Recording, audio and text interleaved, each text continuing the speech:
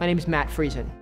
I don't remember not using hearing aids. I would not be able to function without amplification.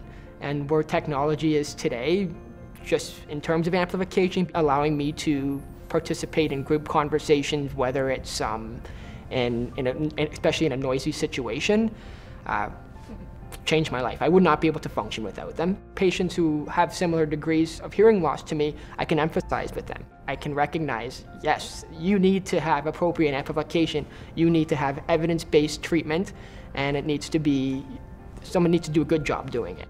So I recognize the importance of it. So the audiology program was very accommodating to my lifestyle. I mean, I worked a full-time position. I'm a manager at a hearing clinic.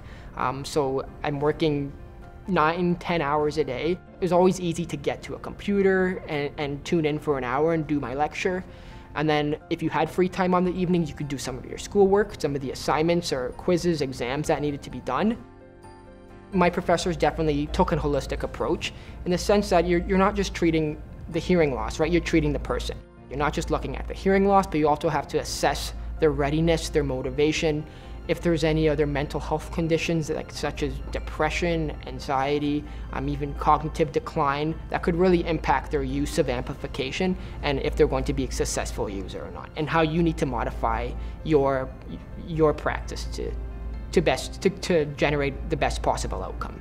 I think it's going to make me a better audiologist because it allows me to offer the highest standard of care to to my patients. Um, traditionally, it was it, in Canada, it's a master's, and now with this extra step, I mean, the Doctor of Audiology program is, is the highest level of care that you can provide to somebody.